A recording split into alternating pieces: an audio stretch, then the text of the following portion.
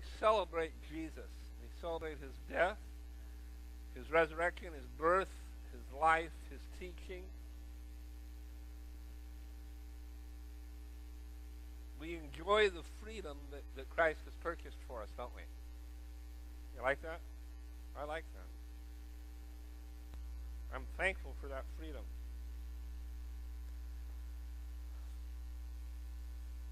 But you know, I, I'm not. I'm not sure that we always get what the complete ramifications, what the complete potential is in the life of that one man, Jesus.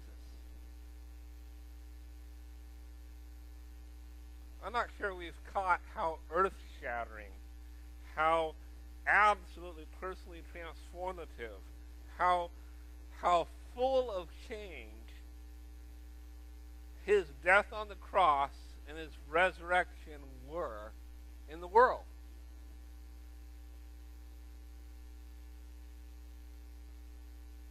After he, after he had sacrificed his life on the cross, on the despised cross, and conquered death and hell and the grave, and rose again victorious over all, over sin, over all kings, over all kingdoms.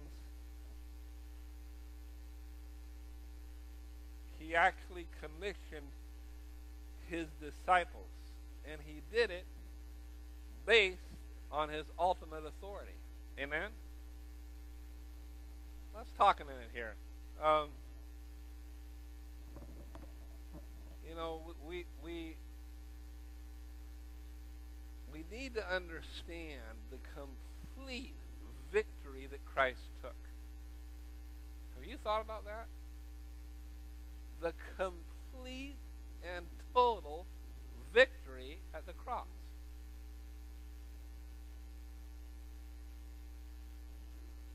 Interesting thing. That that cross was the last thing that Satan wanted to see happen. He tried to have Christ killed prior to the cross. Do you remember? One day he was he was walking through a crowd, or, or, or uh, he had he had somehow you know made somebody angry again. Probably a religious leader, because he had this way of dealing with religious leaders he had some really nice names for them, like um, he'd call them whitewashed sepulchres. That's interesting. One time he told them, "You're full of dead man's bones." That's nice. Another time he told them, he said, "You know what? You guys make your disciples twice as fit for hell as you are." They like that one a lot.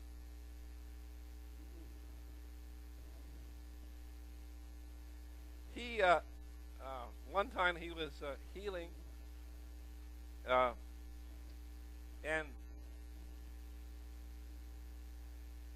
you know they let the young man down through the roof, and and and, and the Lord looks at him and says, "Is it easier for me to say your sins be forgiven or be healed?"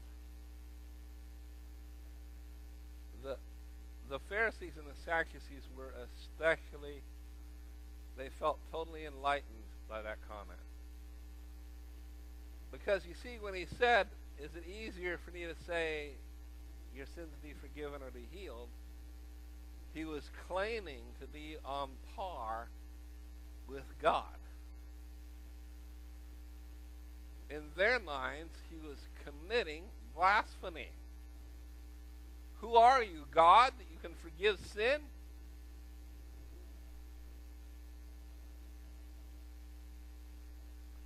But then there came time for him to sacrifice his life. Satan had tried to offer him ways out. Satan had tried to have him killed, but he made it all the way to the cross. And on that cross, he took every one of my sins. He took my entire sin nature on him and yours. and he took it all the way to the point of death.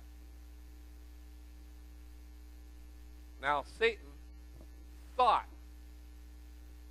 maybe I've won. Maybe I've, maybe, maybe this is the end. Maybe I've got it. And three days later, he was uniquely surprised to find not only was Jesus alive and well and and uh, coming out of a tomb near you. But but but he had taken with him certain objects that Satan needs. The keys of death the keys of hell the keys of the great the, all the power that Satan had thought he had. Gone. Gone. gone we serve a victorious God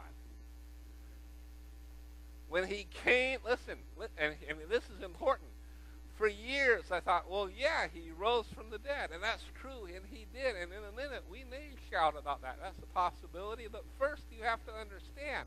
First, you have to understand. He won at the cross. Why do we have to understand that?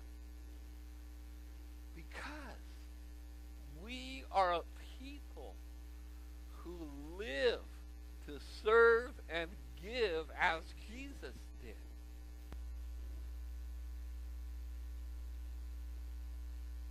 It's okay if it feels like a cross.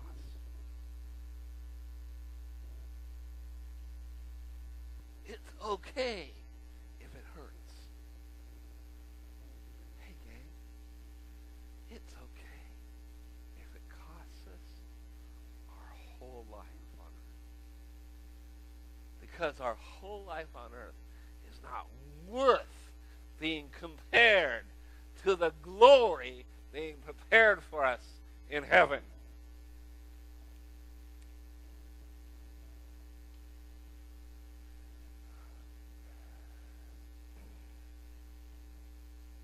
So, with authority, near the very end of his time teaching the disciples, Jesus gathered them to him, and he said, Because God has given me all authority in heaven and on earth, go, make disciples of every nation, baptizing them in the name of the Father, the Son, and the Holy Spirit. Amen? He handed off the ministry of disciple making to his disciples.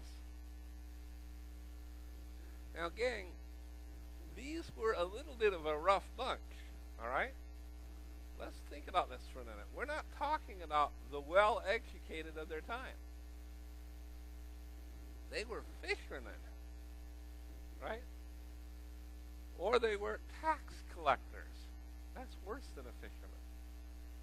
We all know that, right? Who would you rather deal with, a fisherman or a tax collector? All right. Okay. And to these men, he entrusted the disciple making ministry. Wow. Now, if we look at Acts 1 8, he's meeting with them now. This, this is it. He, he's, his feet are getting lighter. He, he, is, he, is, he is getting ready to go home. Right?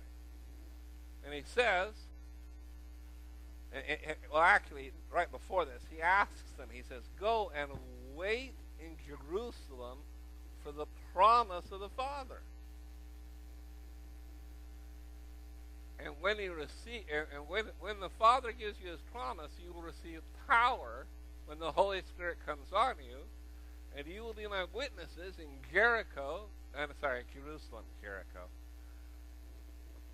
Jerusalem, Judea, Samaria, and to the ends of the earth. Wow, what a promise! And they and they go, and and, and now what you've got is you've got I don't know 120 gathered in the upper room. And, and, and think about it. What, what, what, what, what's happened lately? You think they've gone through a little bit of trauma? Yeah. They watched their master be crucified on a cross. Three days, they didn't know what was going on. Suddenly, he resurrects. And then, and then 40, 50 days later, he's out of there. They're looking at each other like, what do we do? What do we do? Well, he said to wait. Okay, let's wait. I, I believe they waited about 10 days. That's not how long I think they were there when the when the Holy Spirit came, it says it came like a rushing mighty wind. It filled the whole house where they were sitting. All of a sudden, they saw what seemed to be tongues of fire that separated and came to rest over each one of, of them. You know, can you imagine that happening right now, right here? Wouldn't that be cool? And then they all began to speak in other tongues as the Spirit gave them utterance. Right? Wow. What an amazing moment. And those 120 gathered in the upper room had no idea what the Holy Spirit had planned for them. They were just obeying Jesus' words. They were just being obedient to what they knew to do. Amen?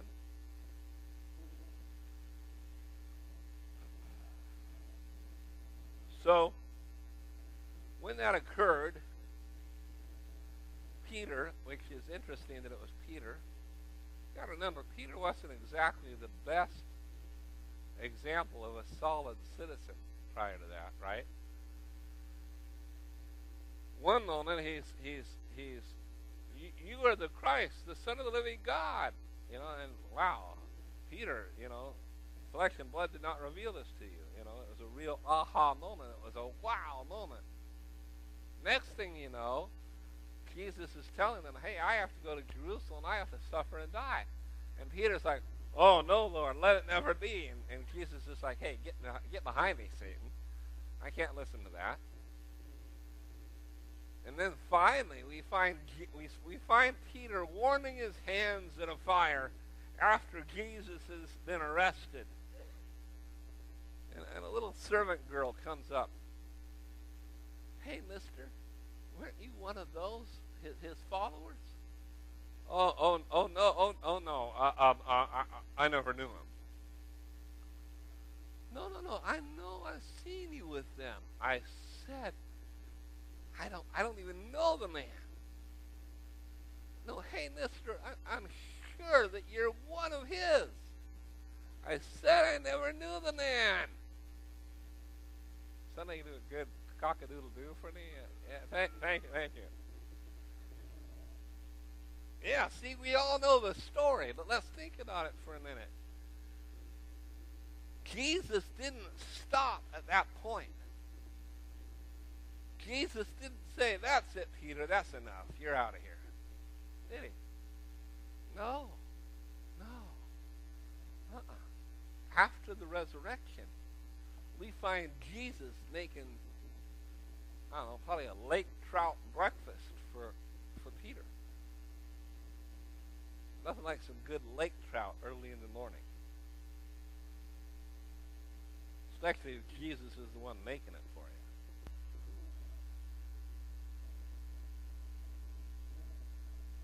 And he says, Hey, you're going to feed my sheep? Do you love me? You're going to feed my sheep? Do you love me? Peter, feed my sheep! Pentecost hits. Peter stands up and delivers the sermon's sermon. Period. Listen to the end of that sermon.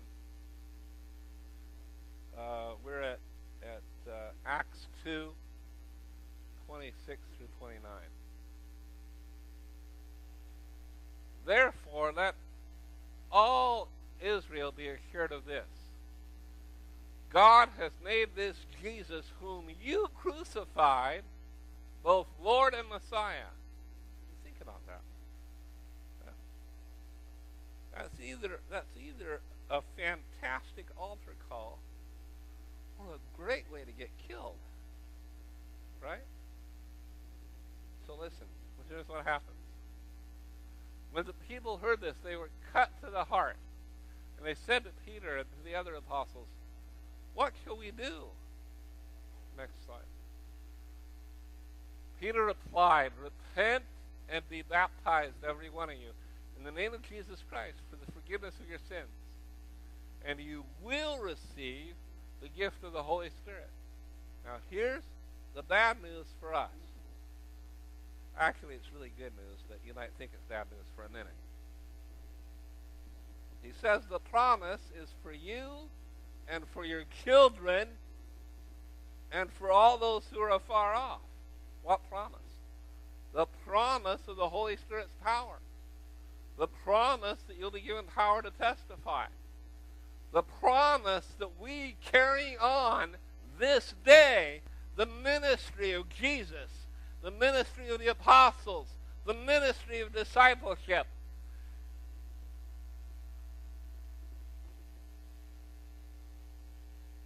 It's in our hands.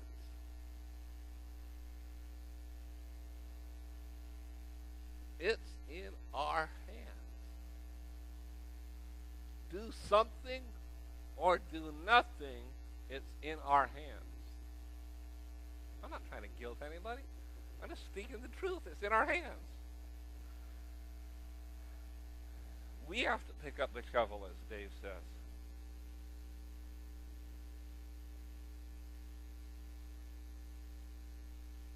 You know, many of us stop at that point. We think, well, really,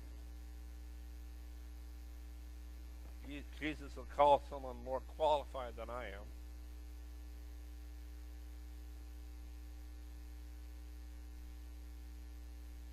But it's not true.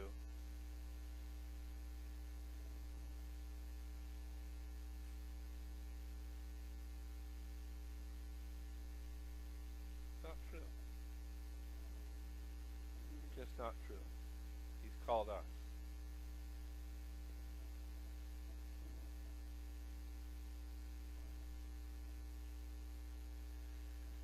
Um,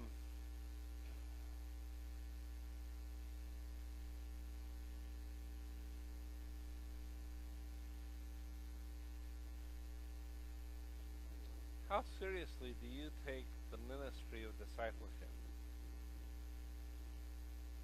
I don't know. I'm just asking.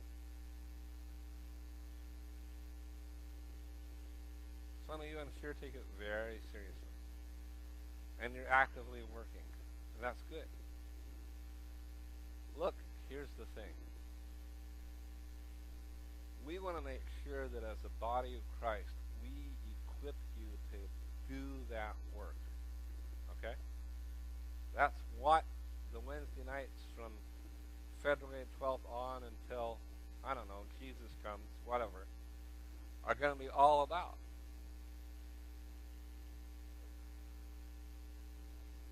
Look, Jesus is not looking for perfect servants.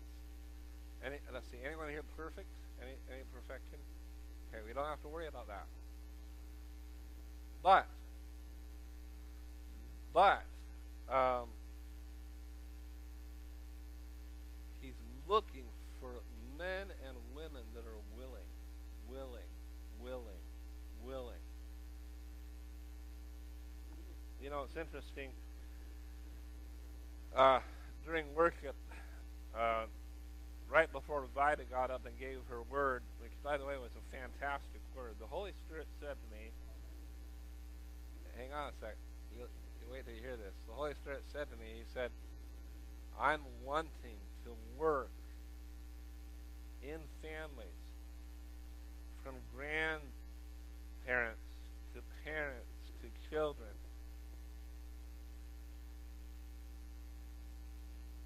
That's a great place for discipleship to start, brothers and sisters. That's a great place for discipleship to start.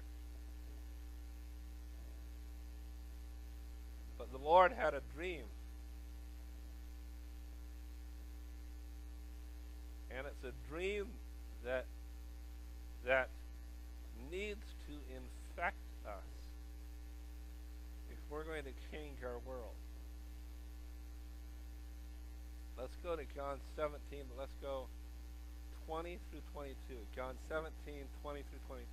Sorry. Thank you. I'm to skip it. Yeah. Nope. John 17, 20 through 22. It's the second one in the John series.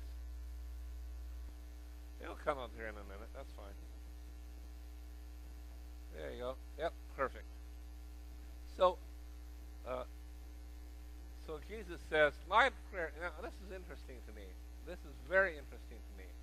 What's interesting to me is you rarely get to see inside Jesus' prayer closet, right? We we don't we, not, not much. We have a few of his prayers. Usually, when he was going to pray, what would he do? He yeah, he'd get off to a secret place someplace and pray. Great, great model. Great model, people. Go do your prayer work so that when you approach the world, you're prayed up. Go do your prayer work so that when you're dealing with what you have to deal with, you're ready. You're ready to speak the word of faith. You're ready to move into the situation. You're ready to deliver what needs to be delivered. All right? So we're in Jesus' prayer closet. He says, my, my prayer is not for them alone. I pray also for those who will believe in me through their message. That all of them may be one, Father, just as you are in me and I am in you May they also be in us, so that the whole world may believe that you sent me. Um,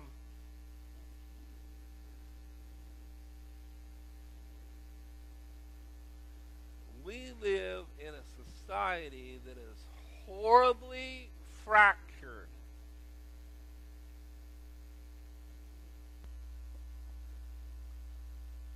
Careful, Steve. You're Steve, you're teetering on the edge. it's okay. I don't mind. Um, the the body of Christ, if it is to obey Jesus, must display a unity that goes beyond all the walls. No, I mean it. I mean it. I mean, I don't care. Baptist, Pentecostal, Catholic, Lutheran, Presbyterian, Methodist, Olton Bible. Who are they? Who knows? Anyway, Assembly of God, Foursquare. I don't care. I don't care. If, if you bear the name Jesus, and you're ready to serve him, you are my brother and sister, period. Hey, world doesn't believe it. World doesn't believe it. They see all the fractures and all the, the division and all the strife between brothers and sisters in Christ. That's what they see. But through the Holy Spirit, we can learn to be one in Him. Amen? All right. Amen. Um, I know some of you that were at the, at the 9 o'clock service go, Where's all that energy you had at 9 o'clock service? I don't know. I'm a little quieter today. I feel like I'm too far away from you guys. But it's safer there because when I when I speak, I spray, so it's it's safer where you are now. Much safer. I can't help it. God made me this way. Talk to Him about it if it bothers you. So, people, all of this requires one thing. It requires faith. It requires belief. It requires taking Jesus at his word. It requires accepting the role of the Holy Spirit in your life. It requires that you allow Him to move through you. Let's go to uh, Hebrews 11, the first one.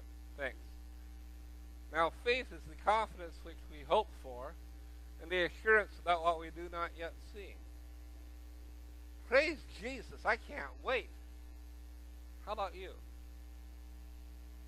I can't wait till my brothers and sisters all across the spectrum.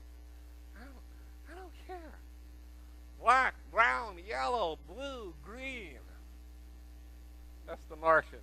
Green. That's the Martians. Yeah. I don't care. Left, right. I don't care. I'm going to be dead low. I don't give a. I don't care what your political stand. I don't care. I, I serve a different kingdom. I, I serve a. I, listen, I serve a kingdom that can heal the schisms, that can heal the divisions. I, I, I serve a kingdom that goes way beyond race because it, it, it encompasses every race, every ethnicity, every social group. The kingdom that I serve, the kingdom I serve, there is no male nor female. There's no slave or free. There's no rich or poor. We are one. Jesus said, Let them be one.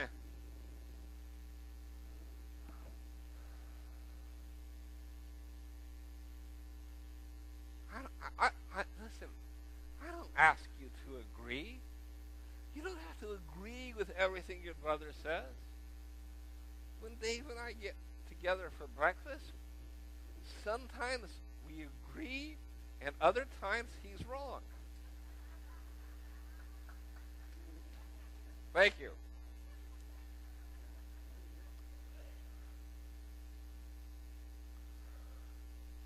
I was. I, I have a dream. I have a dream.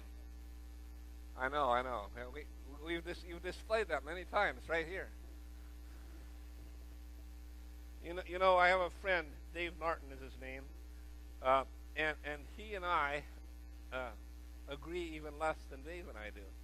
And, and the interesting thing is, you know, I, I can't wait till Sunday he's with me up here, and he goes, well I believe in Calvinism, and I'll say, well, I don't believe in all of Calvinism. I think you got a few things wrong there. I'll say, well, I, he'll say, well, I don't. And I'll go, well, I do. And, and he'll say, well, I certainly don't believe in Pentecostal, uh, uh, you know, theology. And I'll say, well, I do.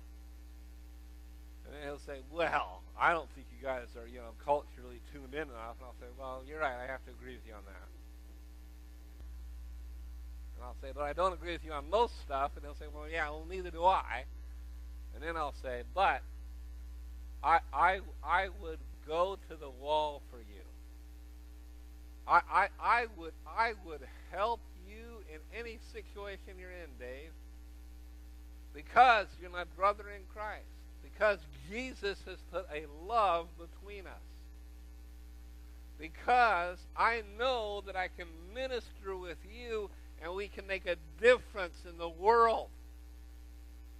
I hope that this morning he is knocking on some hearts to say, I can go further, I can trust more.